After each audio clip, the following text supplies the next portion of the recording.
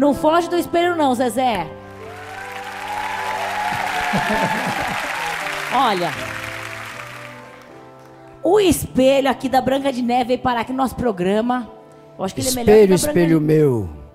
Diga se há no mundo alguém mais bonito do que eu. Não é isso que a gente fala pro espelho? Tem que falar é. isso, né? Não é, Leila? Não é, espelho? Aí fala. Mais amado Tem do que muito. você. Olha só o tanto de amor que você tem, Zezé. Olha bem pra esse espelho. Que tem muita gente Já querendo. me fez chorar aqui hoje, vai fazer de Tem novo. não, muita gente que te ama aí. Oi, pai. Oi, tio. Oi, Sabrina. Pai, eu queria te desejar um feliz Dia dos Pais. Mas quem é feliz aqui sou eu. ó. Feliz por ser seu filho. Você realmente honra a palavra que é ser pai. Eu te amo muito e queria falar que estou muito feliz porque você tá aí para quando eu preciso conversar com você. Você tá aí para me mostrar o melhor caminho e você tá aí para só a gente sabe, né, o quanto quanto que é importante a nossa relação e eu espero que eu te demonstre não só hoje, mas no dia a dia que você é muito importante para mim e que você é um grande pai para mim. Te amo muito, pai. Feliz Dia dos Pais.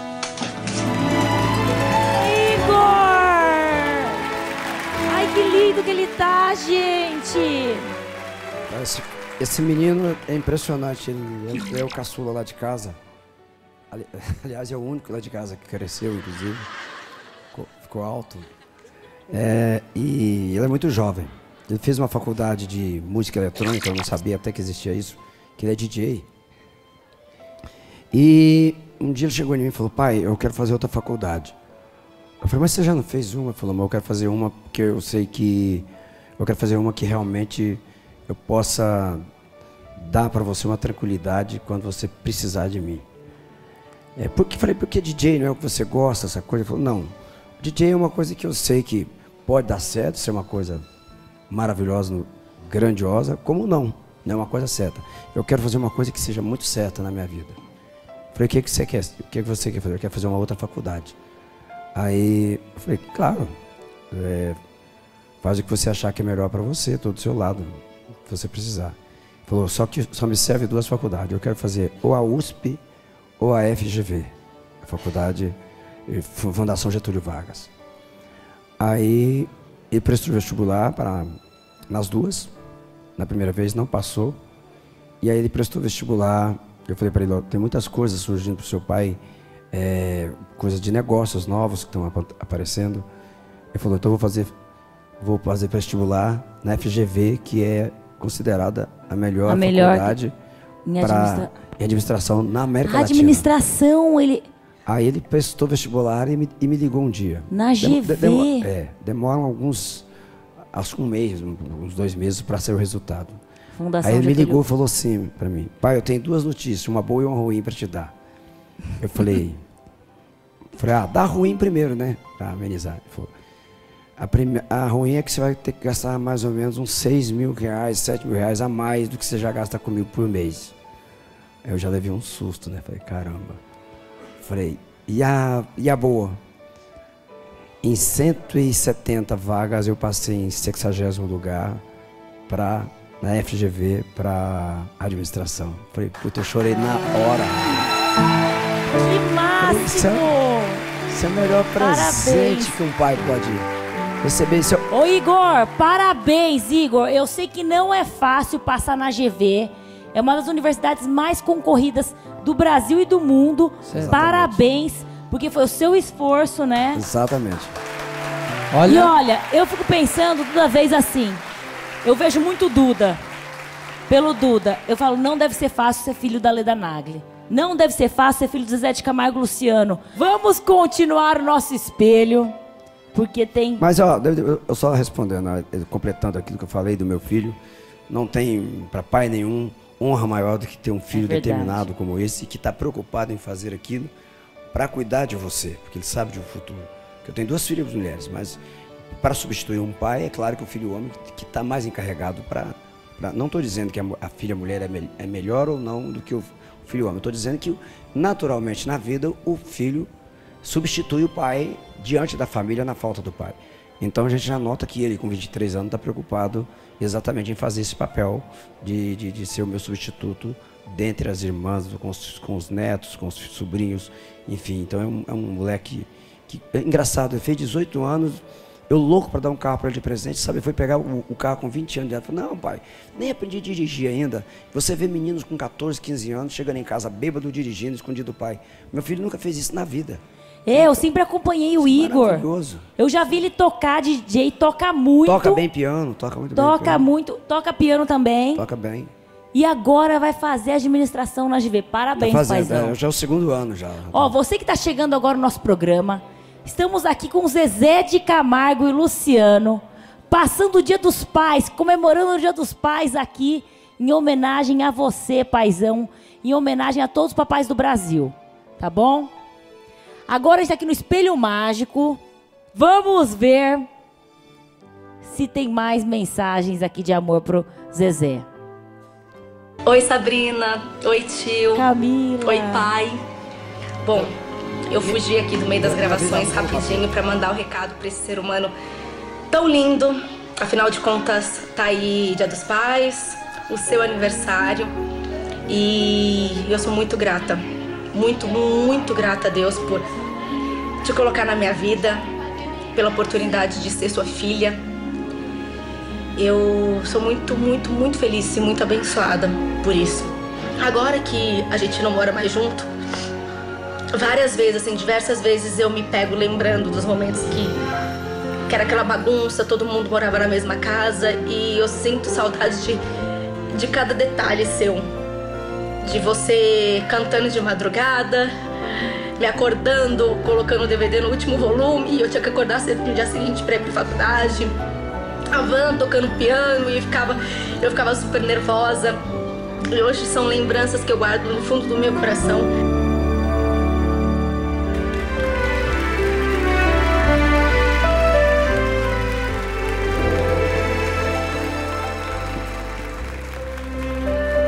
É, dá saudade, né, Zezé?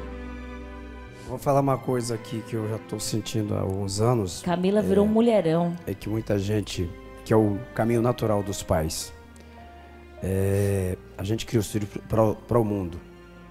E você tem, de repente, a casa, muitos jovens aqui ainda são pais novos, mães novas.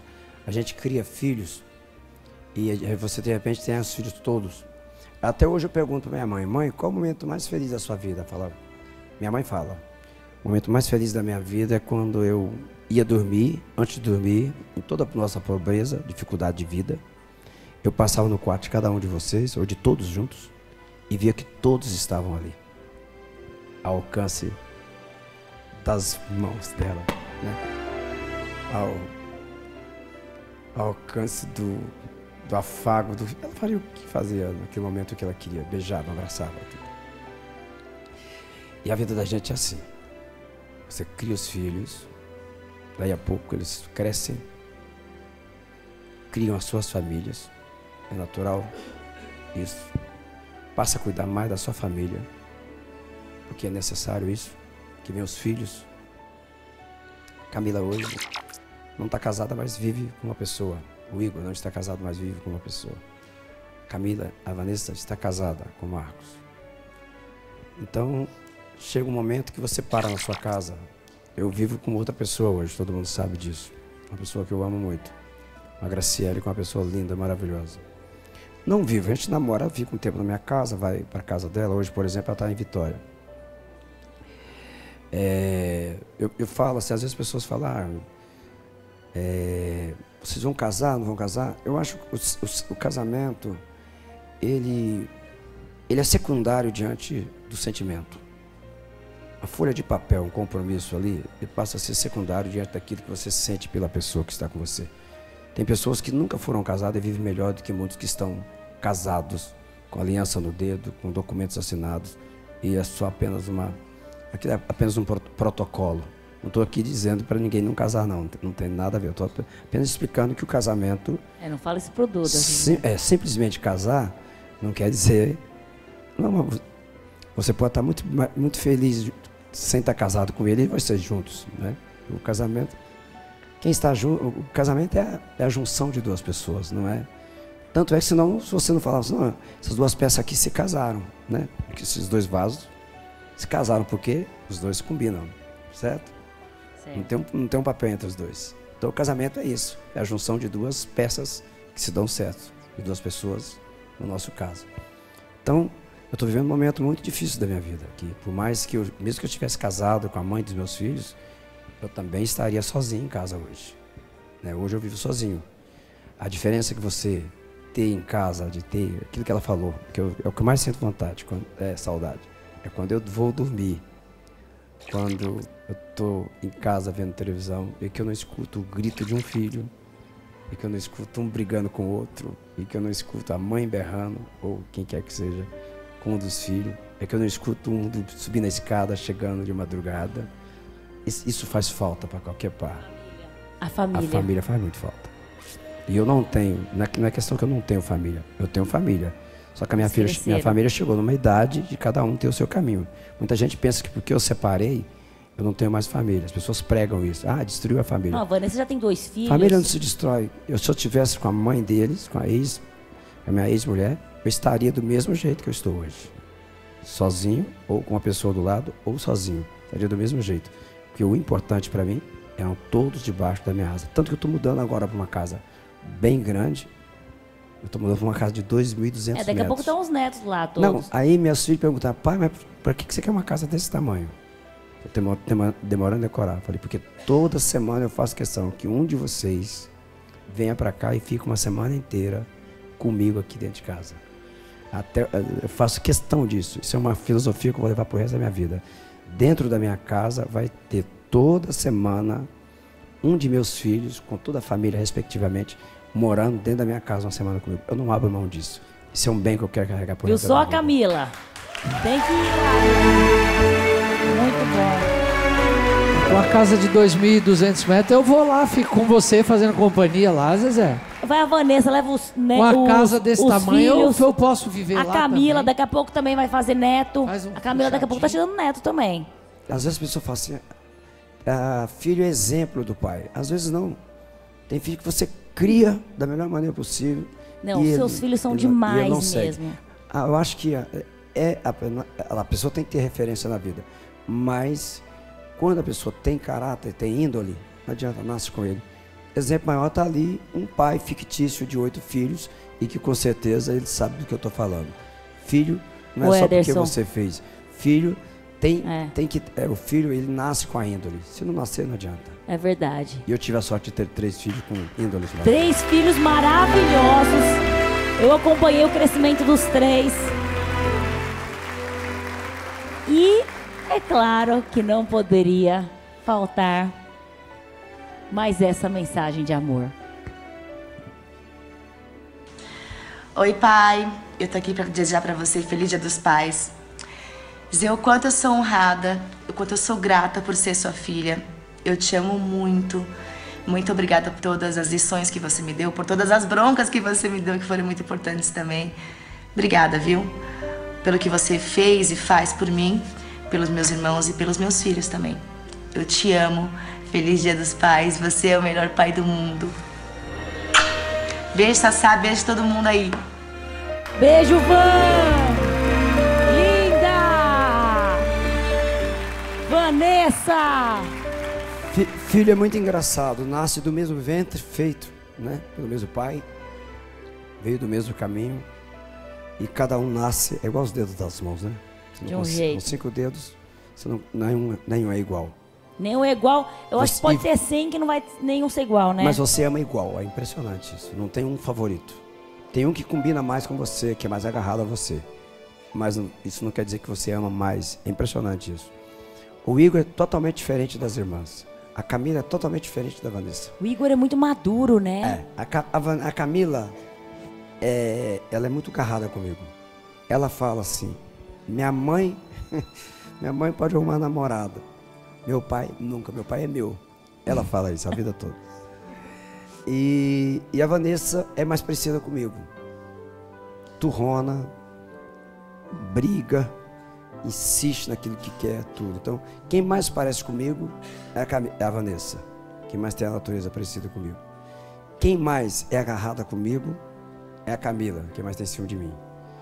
E quem mais tem a responsabilidade que eu tive desde criança, desde a rima de família, preocupado com o futuro matur... da família, a maturidade, precocemente, que eu com 19 anos eu já era pai, o Igor.